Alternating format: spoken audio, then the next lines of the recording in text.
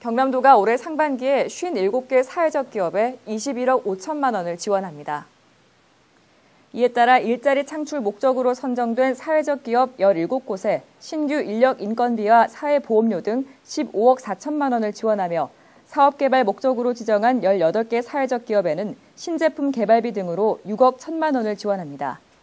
경남도는 하반기에도 경남형 예비 사회적 기업 20곳을 추가로 지정해 일자리 창출 사업과 사업 개발비 지원 사업 등의 재정을 지원할 계획입니다.